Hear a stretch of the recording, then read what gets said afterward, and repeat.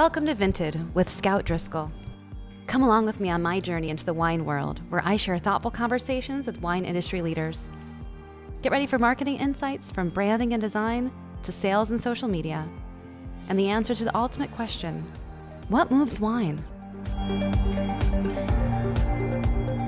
Hi, everyone. I'm Scout Driscoll, founder of Vint Studio and host of Vinted, where I ask top leaders in the wine industry how do you move wine? Past episodes include conversations on brand strategy with Amanda Wurzbach, our dedicated brand strategist, and design thinking with Faith Hurley and Stacey Callaghan of Pinpoint Collective. Today's guest is Nicole Walsh. She is a 26 year veteran wine label designer and currently at the Delicato family of wines. I cannot wait for you to meet her. But before we get to our conversation, here's a quick message from our sponsor. This episode is brought to you by Vint Wine Branding and Design, where rich storytelling meets smart design. At Vint, our studio goes beyond the label guiding wine brands through strategy rich branding and packaging evolutions. Our work with Cooper's Hawk has helped them grow their nation's largest wine club to over 450,000 members. You can always learn more about Vint at vint.studio. And for a free label audit for your brand, just email me at hello at vint.studio. So today I'm so excited to welcome today's guest, Nicole Walsh. Nicole is a 26 year veteran designer and creative leader in Napa Valley. There, she's lent her amazing talents to wineries such as Gallo and Jackson Family and currently serves as a creative manager of Delicato Family Wines and the Family Coppola. I have long been impressed with Nicole's vast and varied experience in the wine industry, and it's an honor to have her on the show today. Welcome, Nicole. I'm so glad to have you. Oh, it's a pleasure to be here. Thank you. I so you and I connected when I started meeting more folks in Napa Valley, and you've just been so gracious to connect me with um, so many people who are the really like I, I can't tell you how nice the people in your circle are. And I'm so grateful to be part of that. I, um, you know, when I was starting Vint, so often I was just incredibly intimidated to bring our studio to the West Coast, thinking, well, it's the wine industry, you know, it's a very old industry and there's a lot of ego. And, and it's just been so amazing to meet all of these collaborators and to meet people who are just so welcome and, and honest and natural in terms of their way of speaking and how they connect and how they collaborate. Um, for you, I've always been so blown away by your natural leadership style and ability to connect people, uh, especially in an industry that can be saturated with ego. It's nice to know a fellow designer who's so open to discussing the creative process. So thank you so much for that. I'm so grateful um, that we're going to give people some insights onto into how to design really great wine labels today. So thank you. I'd love to, you know, talk a little bit more about how your path has taken you here and like how you ended up in such an amazing leadership role at Delicato? Great. Thank you. Yeah. Great question. Yeah, I began my career a while ago, about 26 years, as you mentioned, um, just starting at HKA Design in San Francisco. And we designed various labels. Uh, being an agency, you work for multiple clients. So that was a wonderful way to start my experience as a designer in wine labels, uh, focusing on wine labels and uh, wine related packaging. So starting there, um, just learning all the the nuance of wine label design and every component of the package that you'll can take into consideration. The capsule the cork the adornment on the top of the capsule. Is there a capsule? Um, do you have um, maybe a gossamer piece of fabric tied around the neck of the bottle? You know it's it's anything you want and it's it has to be true to the style of the wine so in a perfect world, when you're beginning your package design, you you want to learn as much as you can about the winemaker, the winery, the family, the story, the history. Mm-hmm. That will absolutely drive and inspire your design. Absolutely. And I, I think it's been so nice to see you know your team's work at Coppola and now at Delicato Family Wines, how there's so much concept that goes into the pieces that you that you have. And we'll talk a little bit about you know design trends later. But you know, one of the things that I'm most excited to, to speak with you about is that, I mean, after 26 years of designing for wine, and I know your yeah. work goes beyond packaging, it's point of sale, it's advertising, et cetera. But um, in terms of wine label design and for wine packaging, whether that's, you know, a wrap, et cetera, um, what are your must-haves for a great label? And we could talk about this for an hour. yeah, definitely. Like you and I could just riff on this yeah. nonstop. But um, right. Um, you know, what are when when you review one of someone on your team's concepts, or when you think about you know the very beginning of a wine label project what are your must haves so to walk us through your creative process and, and really the boxes that you look to check Sure. Well, first of all, it obviously has to have impact on shelf because nothing will move if it doesn't rise above the competition in a saturated market in the store. So as a designer, you think of that first. What's going to let that uh, logo and identity not be recessive on shelf? If it's going to be in a market situation. If it's a DTC, you know, direct to consumer, tasting room only, that's a different consideration. So you Yeah. have a bit more freedom there. But if you're if you're designing with first intent to be shelf impact in the store, then that has to be considered. So logo has to be, you know, hierarchy of elements, of course, right? Lower key, um, the logo hierarchy being, of course, primary, and then secondarily, maybe the uh, probably the varietal, vintage could be tertiary um, the appellation could be tertiary depends or secondary depends. So it really has so much to do with the wine itself. If it's a napa valley cabernet that's known world world you know across the world the, the napa valley uh, being one of the top regions for cabernet. So you might not make that as recessive as you would um, another varietal. So so yeah California red wine.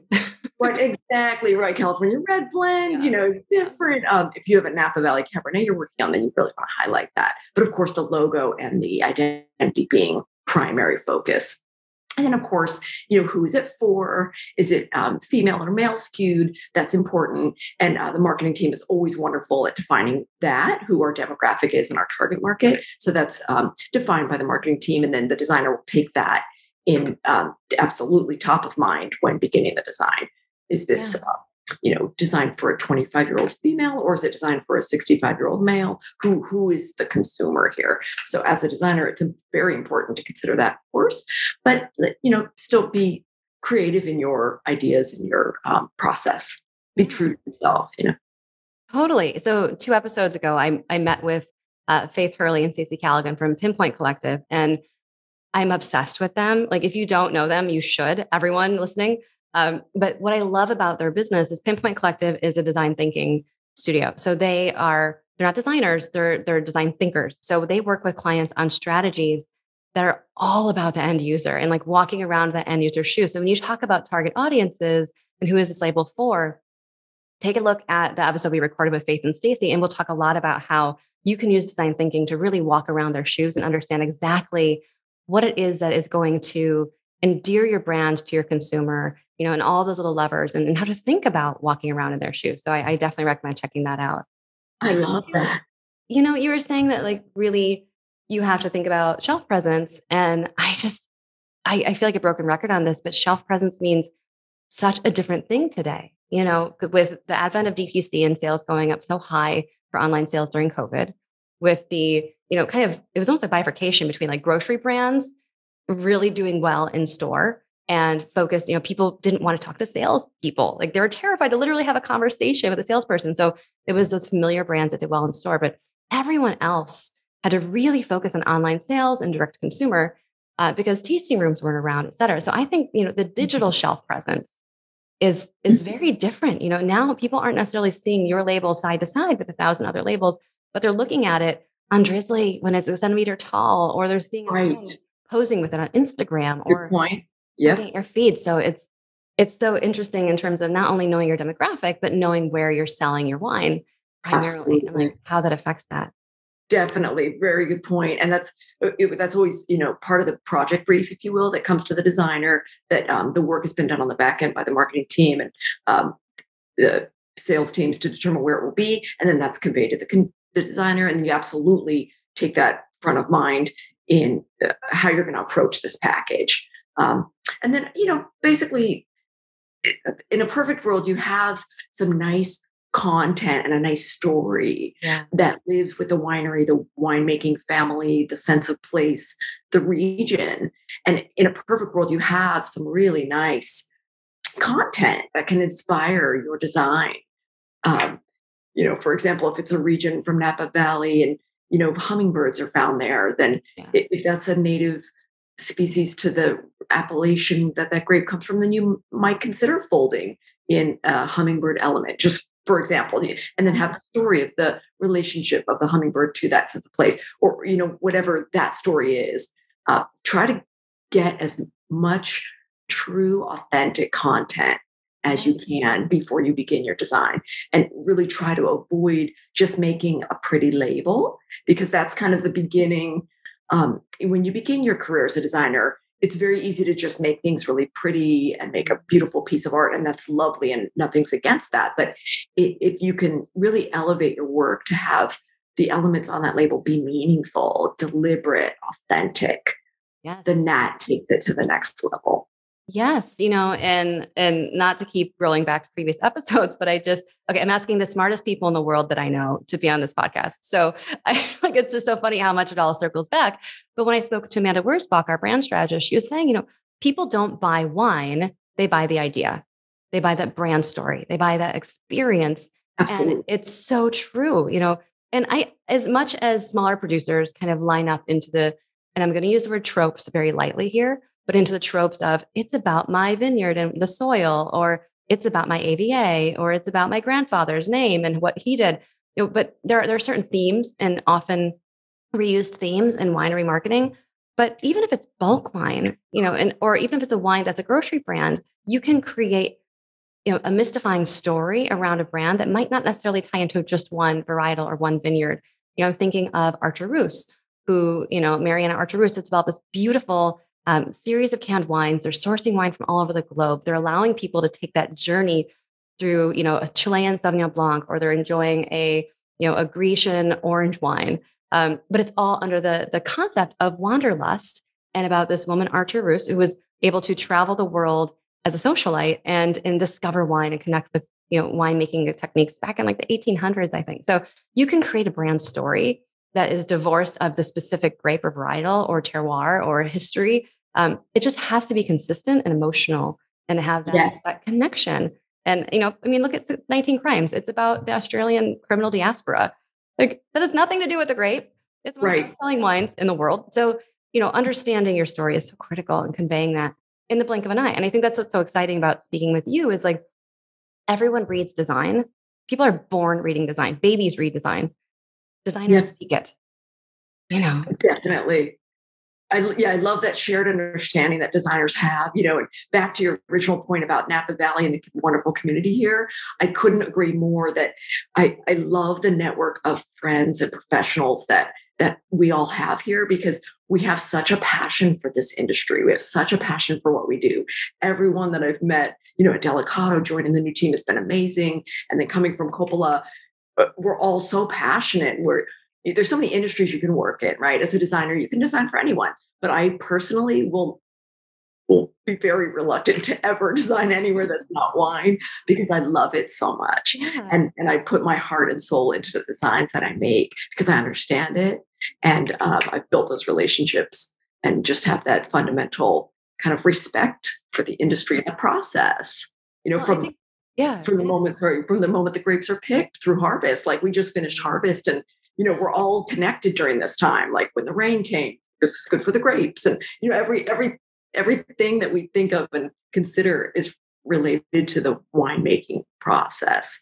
And then we get the great honor of packaging that amazing wine for consumers to enjoy. So it's it's a wonderful industry. I couldn't love it more yeah. And I think with the colleagues that you share in, the design community, especially in Napa, you know, at the end of the day, you're all selling the same product. And, you know, it's kind of like, you know, United and Southwest Airlines are both getting you from point A to point B. This is something my colleague Amanda says all the time. But what they're selling is the brand and the experience. And and at the end of the day, everyone's selling Napa Valley wine, but they're selling it in such a unique way that it's not even competition. It is about the idea of uplifting the entire AVA, about building a narrative for the quality of Napa wine. And and that that that type of collaborative attitude and looking at like the Vintners Association and how people collaborate is just so inspiring. I love that. Yeah, it is great. And then there definitely are nuances, you know, of uh, different uh, varietals throughout the valley. So it's wonderful to explore. You know, one Napa Valley cab from one winemaker may be vastly different from another Napa Valley cab. So it, you know, it kind of encourages you not to limit yourself when you go and visit any any wine region, like explore and really, um, to, you know, try to discover the differences between the the varietals. Absolutely. So, are there any other, you know, must-haves beyond like rich storytelling? Obviously, the hierarchy for labels. Um, how do you feel about, you know, kind of the general convention in wine label design? And this is something I I struggle with. We're we're a contemporary design studio. You know, we don't necessarily design a lot of very uh, traditionally authentic wine label designs. And I think there's a lot of, you know, genre adherence in design aesthetic for different places. You know, if you pick up a wine from Alsace, it's going to look like a wine from Alsace. And a lot of times those wines have rules, and, and especially European and old world wines have uh, AVAs have different rules for what their packaging can look like. Uh, so I have a lot of respect for the history and tradition of wine label design, but there are also conventions that I love to break. And I feel like at Coppola, especially, you've done such a great job of leaning into um, Francis's story and like the the the film narrative, et cetera. Like that you have really been able to play and and present wines that feel quite different than a lot of what's happening in uh, the valley in general. So uh, let's talk a little bit about you know your your inspiration, also like how you feel about breaking out of those stereotypes in wine label design.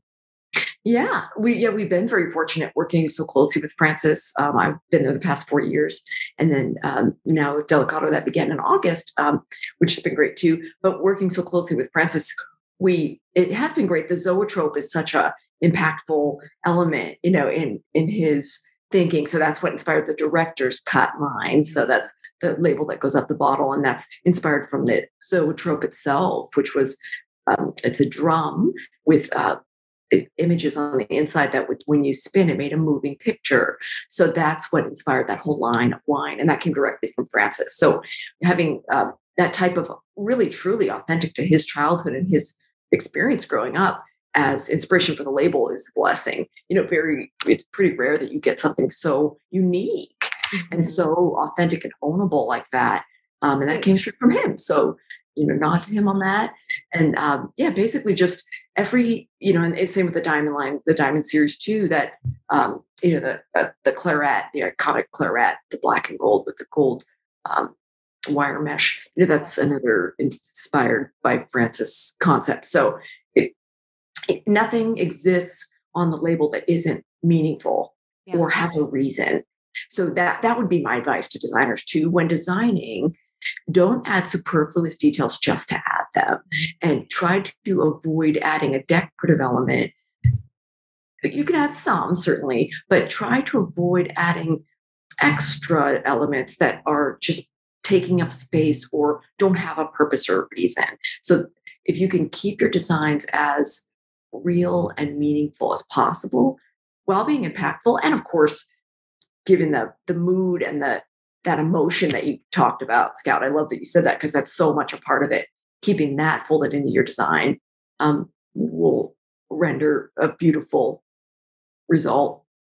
Yeah, we always say, you know, it's like it's like when you dress for the day, and they say, you know, put on everything and then take off one thing. Exactly. I think that's, that's actually, really the narrative. I was actually going to quote Coco Chanel because I thought of that. Oh, yeah. You know, take a look in the mirror and then take three things. You know, like yeah. it's or the earrings. It's not both. Like think Coco Chanel. It's yes. what Right, Coco before Chanel, that wonderful film.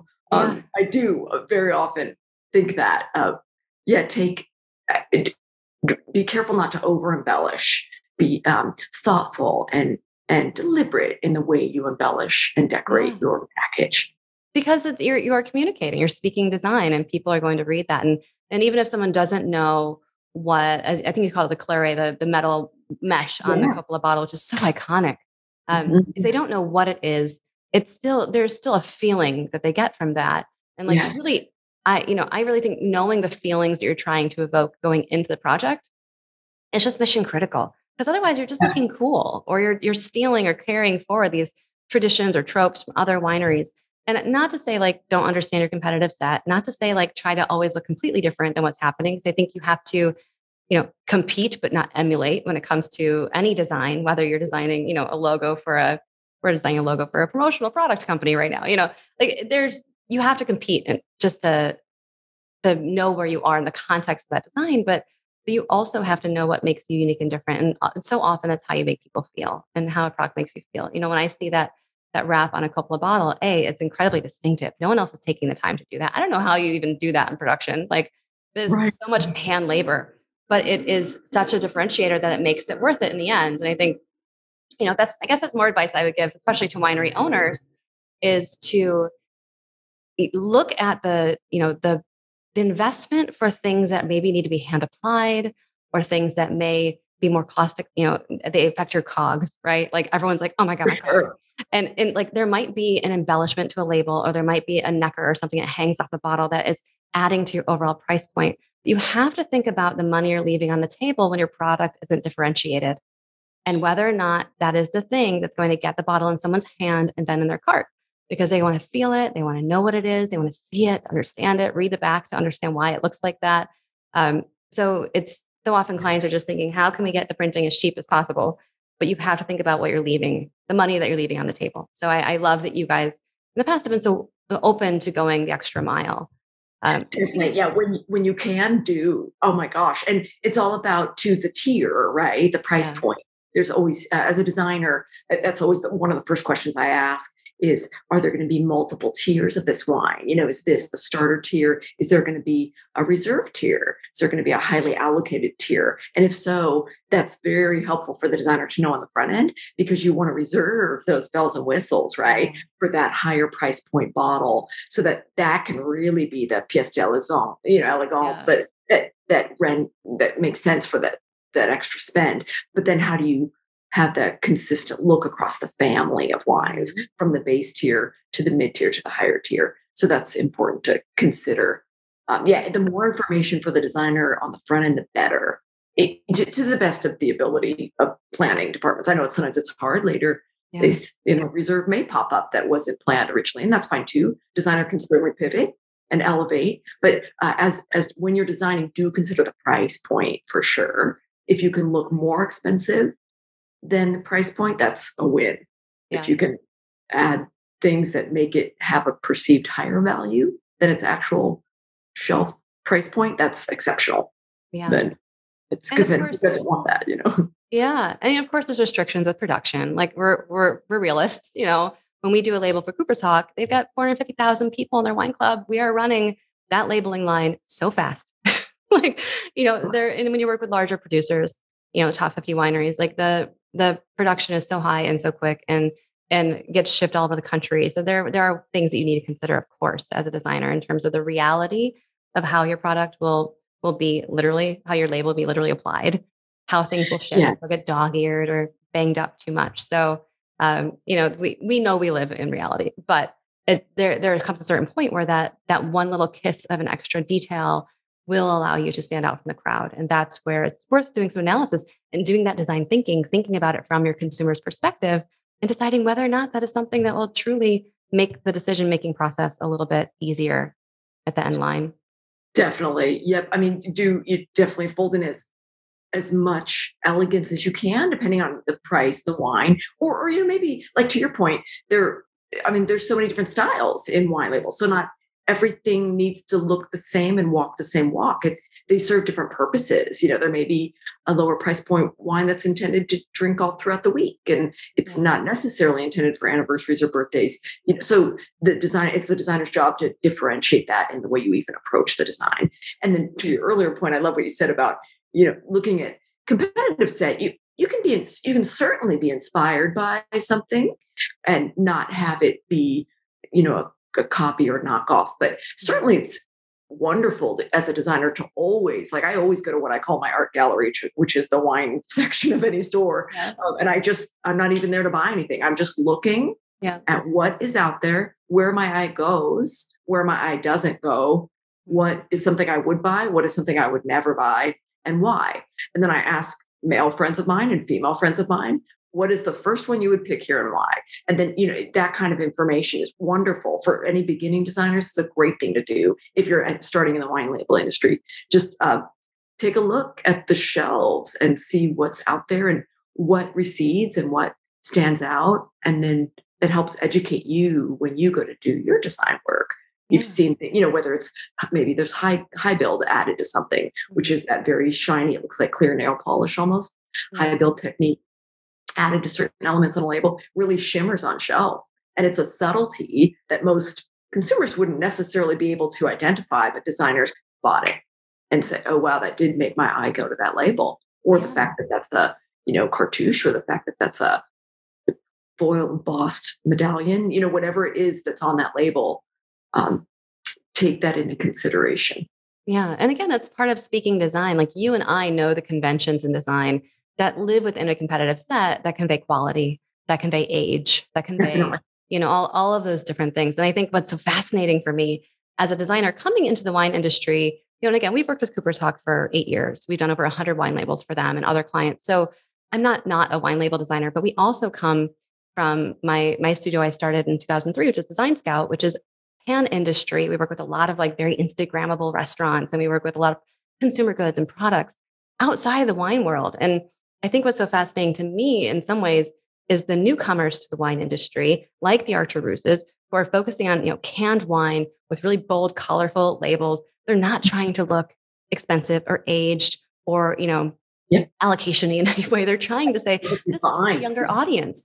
And Yeah. when you watch the wine industry as a whole scrambling a little bit to identify with and connect with those younger audiences and bring those experiences that they're so interested in, um, it's just so fascinating to me to, to see how designers can use other tools in their toolbox to connect with younger, demo- younger demographics, um, you know, and, and present packaging that breaks the rules.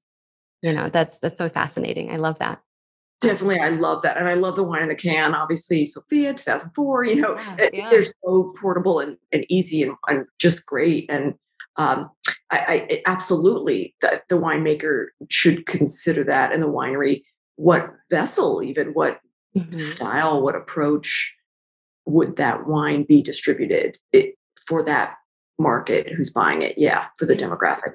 And so many of my favorite movers and shakers in wine are really focused on the democratization of wine, you know, the accessibility of wine. You know, when I think of the Cooper's Hawk story, Cooper's Hawk is, you know, they're at the end of the day, they're to a certain extent a suburban restaurant, right? They're like a middle flyover state kind of suburban restaurant, but they're the 30th largest winery in the country. You know, they produce wine and they bring wine.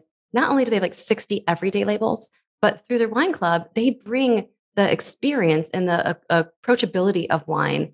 They make it so accessible for people that never have thought they'd have a monthly wine club. You know, and through that, we help them travel the world, much like Archer Roose. We talk about, you know, here's here's a Gruner Veltliner, here is a Chenin Blanc from South Africa. We're going to introduce you to the the best producer of Riesling in the world. So I, I just it's the people in the wine industry that are focused on making wine accessible to everyone that really get me excited. And I think there's such there's such a sea change happening where the, the visuals of wine is changing to kind of follow that. And I think you're going to see that slowly creep up into the grocery shelves where, you know, the DTC and the young gunslingers and all of these independent producers are are getting pretty edgy. But I I want to see beyond Orange Swift. I want to see more of that happening at retail. And I think Yeah. the consumers get younger and younger, well, of course, 21, but Right, right. younger, you know, generations age into the wine world and get off of seltzers, you know, they're going to want those cans of wine. They're going to want that convenience and playfulness and sense of rebellion. So it's just so fun. Definitely, I love that. I love what you say, and I couldn't agree more with that. The whole the style of a designer, you have to be agile. You have to be open to change. You have to be able to pivot. And it, it, I, I I found most designers that I know and have worked with, we are kind of naturally pro change, agile, nimble, able to pivot if if a direction changes or or the market changes. The market tells us. So you know, it, Yeah. it may not be what you personally, you Nicole sees the label being. If the market's telling you something else, you have to respond to that. You have to consider that, respond, pivot, and now still bring your design skills. You know, bring those same tools that you've always used, but consider how the market has changed, and it changes every single day. So Yes. um, we're very, very much on the pulse of that. So I, I love that you mentioned that because if you have one design style that may have worked for a number of years, rethink that. Don't don't ever mind hitting reset and refresh a bit to respond to uh, changing market trends. Not necessarily trends; it's the wrong word, but um, tendencies. Let's say you know styles.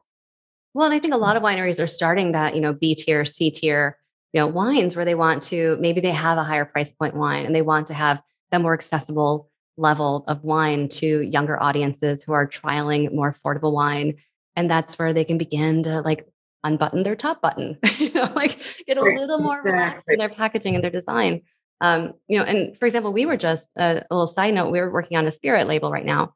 And it is um, it's the kind of product that we it's going to take some adaptation like there's it's it's a little bit out of or out of the ordinary for a spirit and we worked with the pinpoint collective team to get some data on our target audience. And speaking of like, it might not be Nicole's comfort level, like everyone on the project is Gen X. And we were like, this is a perfect product for Gen X. And then we hired our team to do some design thinking, you know, quantitative and qualitative research. And they were mm-hmm. like, hey, dudes, this is actually a millennial brand. Gen X will only enjoy it after the millennials adopt it. And the early adopters are this age group and these people. And we had to completely take off my, you know, take off our Gen X thinking hat and put on our millennial thinking hat and and learn how to to connect with people in that world without following trends and stereotypes. Like that's that's what's just so fun about this whole process. You know, I think for sure, you know, one of my label must haves too is like it, try not to be trendy. Try to keep it rooted in your story and your authentic story. I think there's yeah. so many um, so many younger designers just like to go on Pinterest and and grab whatever's unique. Like if if I can find your wine label design pretty similarly on Pinterest or Dieline or Packaging of the World, like you're you're not being true to your client's vision and the story behind that. So always try to be more clever than the trend because that, that label might be around for 10 years, 15 years, 20 years. So you want to make sure that you're staying evergreen by staying rooted in that strategy and not just what's hip right now, you know. Definitely. clients love sending inspiration. They're like, "Ooh, but I love this font." I'm like, "That font." I don't know if you guys are familiar with Canva, but like Canva is the online design tool, and one of our rules is like, if if we can find that in Canva right now, that is going to be hot for two weeks. That's what that's what's great for Canva. It's super fresh, hip, easy, to accessible. You know, but but you know, really just not following trends is so important. Um, Definitely, so, yeah. You can certainly be inspired by what's new, um, but but don't let the trend steer you um, in a direction that isn't authentic. Is would be my advice. Yeah. Are you stealing? Are you steering the trend, or is the trend steering you? And I think that's right. Exactly. That's, that's the biggest challenge to the designer, right? To to create the next trend. You know, there was there was a time in my life where I had done a I done a logo for a restaurant here in Chicago, and um, maybe five years later, every restaurant that's opening in Chicago had like antlers in it, and they're all like antler inspired like ornaments. And I was like, I am an old English text, and I was like, I am so over this trend. And then I thought back, and I was like, oh, oh, that's what we did for Rocket Bar and Grill, and I was like, I started okay. that trend. You're like, oh, I actually did that. yeah, I'm sorry. Uh, but you know, being, being, you know, uh, steer the trend, don't follow the trend. Um, okay, one thing I'm really excited to talk to you about because I think truly you're probably one of the only designers in the world who I could have this conversation with. Um, is you, my team and your teams are two of the only designers who've gotten to design wine specifically for award ceremonies. Um, yes. And that's so fun. So uh, we've done the Screen Actors Guild Awards wine. Uh, I think it's around our fourth or fifth year now. And then you did some wine with Coppola for an award ceremony too. Can you talk about that a little bit? Yes, I have it here. It's the uh, the 93rd Awards, the gold bottle, um, designed specifically for. Uh, this is for Francis in his vision. There's the um, this is the Chardonnay. This was the Russian River Valley Chard and the Alexander Valley Cab, and these were for the Academy Awards, uh, the Governor's Ball actually. And um, what's lovely about that is this was authentically the vision of Francis it, to align with his Oscar. Yeah. So his, his idea was he wanted people to hold the bottle and do a pretend speech. like, it. that's been amazing. And, oh, and that was his, right, that was his idea, it came directly from him. And we were able to implement, and not myself alone, my gosh, no, our product development team was exceptional as well in yeah. making this become a reality. And of course, the vendors who worked on it. So, uh, team collaborative effort for sure. But um, I think we're all very proud of that and that we achieved the vision that Francis had in mind. And it was derived from the authentic experience of the the Oscar that lives there at the winery in, in Geyserville at uh, Francis Ford Coppola Winery, and you can go upstairs and see them. That he keeps them in the case there. So th- that's what's lovely about that is it wasn't let's just make a gold bottle because gold is cool. It was yeah. it, directly very deliberately is representative of his Oscar. So, yes. And so, for those of you listening, not watching at home, uh, it is a mirrored gold wine bottle. There are two of them, and they are gorgeous. There's a full metal like nameplate. Uh, so, it's got hardware, kind of like that when you engrave someone's name on an Oscar. Um, and it just is unbelievably stunning. And talk about differentiation on screen. You know, I'm not sure how televised the governor's ball is, but um, you know, when we were working with the Screen Actors Guild and Cooper's Hawk to develop the red wine for those shows, um, we it's just so interesting, especially because we've done the same wine four or five years in a row. Yeah, every year it has to be fresh and different, right? It can't just be the same design every year, but it also has like such limited, you know, rules for that. It has to have the Screen Actors Guild logo on it. It has to have the Cooper's Hawk logo on it. It has to have the statuette on it. It has oh, to, you know, it, but it can't have the year because it's not a vintage. Okay. so, like, so, but it's just been so fascinating to like play with the idea of like, not only does this does this label look great on camera, is it noticeable on camera when it's on the table? Also, they don't tell you this, but no one actually drinks at award ceremonies. Shh, I don't know if I'm not supposed to say that. Um, because they don't want to get red teeth or right. like, be caught enjoying a beverage on camera. So it's really, but it, it's amazing to see like how how that one bottle, even though it's so tiny, you know, tiny on this huge ornate table. Of course, this is kind of pre-COVID as well. Uh, but thinking about how that bottle reads on camera and in all the Getty images that come out the next day, and, and then also have to have shelf presence because their Screen Actors Guild wines are sold in stores and to the wine club.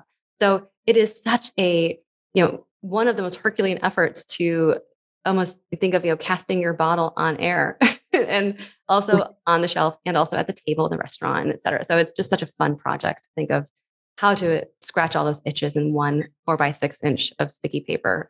right, exactly. And then in your case, with all those you know elements that had to be included, like how to yeah. keep it from becoming cluttered, right? And that's where you're so highly skilled at balancing the nuance of design, and a highly skilled designer like you can do that successfully because it is challenging when you have a lot of things that need to be on there. But yeah. you, you know, you back that Coco Chanel thing, you can't have earrings with the necklace with the bracelet with, you know, it's like it's got to be there's still the hierarchy has to remain intact, right? There's to be one first thing that the consumer eye goes to, and then the secondary and tertiary elements after that. And you're so good at doing that as well. So it's it's even more challenging when you have many components that you need to include. Yeah. And my team is so great. You know, we're very collaborative. So I'm trying to think we have an example. Um, oh my gosh, this is a magnum. So I'm being very strong. but so, you know, for example, um, this is for the 25th annual Screen Actors Guild Awards. And so for those of you who can't see, it's, you know, the statuette on black paper covered with like uh, gold confetti for the celebration. And right. it's really statue forward. But oh, for this year, we also had to integrate the 25th anniversary logo. So it was, oh, it wow. was even more. Um, and because you know our team is so collaborative, each designer often uh, submits a concept for a wine label, and there's five designers on, in the studio. So we're showing not only one version of the perfect balance of all those, we're showing five versions and then iterations after that. And so it's always just such a fun challenge to design for something that has such interesting constraints. Um, and I just, oh, oh my god, the idea of someone holding up their wine bottle like it's an Oscar, like you just blew my mind. Yes. I know, right? It's wonderful. And it, well done uh, on that design. That's beautiful. You've managed all the elements really well. It's beautiful uh, result there. But yet, to your point about you know designers doing different variations, you know, I throughout my career I've worked with wonderful designers, and I always remember a few of my colleagues. We'd always say the design like tells you, like it, it will let you know, like you'll see five or twenty five variations on a label solution, and it will it will tell you yeah. you will very clearly the winner will very clearly reveal itself in, in the nuance and balance of those elements. And you can really only find that out by exploring those. So that's why designers often will do multiple versions which can be challenging because now you've got to whittle down to one or two but it's that exploration that is important yeah. Eh, for and the so, designer. I always think i think it was Herb Lubalin who was like if you want if you want my idea, I'm going to show you one concept. He would do one logo for a client. You know, here IBM have logo. I've heard of designers that do yeah. that. And as much as I like that that bravado, I think that exploratory process is so important to us and the iterative process. And and yeah. also, you know, I think about, you know, when you think about wine, you're not just designing for the end consumer, you're also designing for all the different stakeholders, whether it's the producer or the yes. winemaker, whether it is, you know, a, a persona like Francis Ford Coppola, whether it is the marketing team who has very specific goals. There's so many different ways that you need you have many masters or many stakeholders yes. for one design and and having to kind of weave the the narrative and, and the goals of all of those different people um, in one is just so so fun and so challenging and then you think from the consumer side like you have people who are looking at the internet you have people who are holding it in their hand you have people who are at a tasting room so it's just you know i i think you know, when I started Vint and, and, you know, Vint is now almost two years old. Um, despite all of our experience with Cooper's Hawk, Vint as a brand is, is relatively new. And, you know, when I started, it was because of all the projects we work on in our studio uh, for the last 20 years. It was the wine label projects that were the most challenging and the most rewarding and you know yeah. have so much creative freedom. So the fact that you've spent 26 years designing yeah. wine packaging, you have you have every designer's dream job. Oh, like, truly, like, so much so that I created a whole new division of my company to do more of it. So I just, I, I just think you're so you're so lucky, and it's so you've earned it. You've done such an amazing job um, moving this industry forward and, and being such a great um, you know torchbearer for all all wine packaging designers out there. Oh, thank you. That's a tremendous compliment. Thank you. Yeah, I like back to my point about the passion. Just the passion for the industry is there, and it's in every project that I work on and I design because I love it. I find myself naturally, a smile is on my face while I'm designing wine labels and I'm not even consciously aware of it because I love it that much. And to back to your point of how to kind of, you know, satiate, check all the boxes, right? And please all the stakeholders, um, definitely take into consider everything that needs to be done and needs to be achieved. And then just focus on the design being strong and working well. And I think that's where we rely on our expertise as designers, what that looks like and what that is. And so as long as you rely on those, that toolbox that you have and those skills that you have, the design, you know, is the design result is successful and and does tend to satisfy all the stakeholders and check all the boxes. So so it's nice. Be true to your design process and um, rely on your expertise. And of course you know feedback is wonderful and it, it's it is very helpful to get fresh eyes to look at it and to consider you know the side of the various teams and uh, to take that into consideration. And then if you, you know fold that in in a way that still preserves the the elegance of your design and th- that will get you your most successful result. That's such great advice and I think, you know, beyond just speaking to designers, you know, speaking to producers, especially smaller producers who are working with, you know, as much as I don't recommend this, a friend or, you know, my sister knows Photoshop. Um, if, if you can't afford to invest in a professional design team, you know, I just talked to a winery in Texas and they're like, we're producing like 8,000 bottles total. Okay.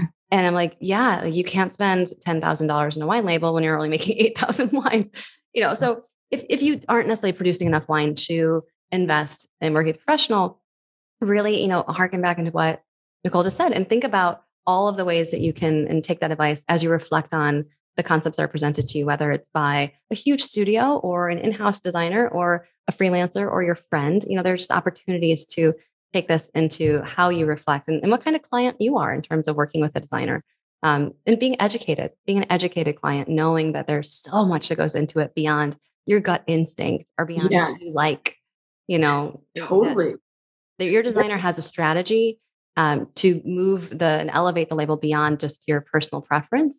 Um, so I love that you were able to illustrate how your designs have come to life and even taking Francis's original inspiration and filtering it through that design lens and making sure that it, it's it's still honoring you know that inspiration yeah. that enhanced storytelling it's so critical Always, definitely. Yeah. And for the new, you know, small winery, um, what they could do if they're working with a single designer or maybe two designers is go to the store, you know, go consider that your art gallery, go take a look. What do you feel works? What doesn't work? What do you want to avoid or stay away from? What works really well? What uh, reflects a similar style and let that inspire you. Def- definitely not take a design. You're not stealing or taking anything, but you can certainly always, we are all always constantly inspired by everything. I'm inspired by fashion, architecture, nature. Yeah. I, am innovation in any form. I'm I'm not just inspired by package design, but um, you know, let that be a nice starting point for maybe beginning designers or wineries that don't have the budget to reach for a nice agency or a, experienced designers. Yeah, and don't be afraid to stand out. You do right. you. Yeah. You know, something Amanda said in one of our recent episodes was it's not about getting 5% of all possible customers. It's about getting 100% of your dream customer. And when right. you yeah. when you are able to really define who you're targeting, what your brand is, how you connect with them emotionally, what idea they're buying into, and relate all of that in your packaging, you can truly do whatever you want. There are no rules in wine design. I mean, there's there's COLA, TTB, but, which is the back label. That's in the back. Yeah, yeah, yeah, yeah. So I mean, like, there, but there there are no there are no real rules when it comes to fitting in or standing out or following in. Just be true to yourself and make sure that mm. you're you're you're not chasing those trends or chasing the conventions you know? Absolutely. I amen to that scout julie. I think that is the rule is be authentic to the story. You know if if you're a small winery and you have a story of your family and the heritage, by all means, let that lead the design concept. You know, share that with your designer and um, anything you can get, any information, any any material like that or content really will inspire your designer. So just be as authentic to yourself as you can. And that naturally differentiates, right? Because there's no other winery like you, and there's no other place with the same story as you. So, so if you can really uh, focus on that, then that's great tips for success. Yeah. And 98% of millennials crave authentic brands. I would think so. I would think so. I, yeah, yeah, it's true. I mean, in surveys, survey says um, 90. And I would hope so. I'm glad to hear that. Yeah, they prefer authentic and authenticity in in their products and their brands and you see that in beauty products you see that in fashion you see that in like all the brands that people are engaging with so so critical all right, I feel like we could talk forever, and I don't want to. I want to bend people's ear for too long. Um, but I always try to wrap up these episodes with kind of the hardest question because we, you've given so much great advice already.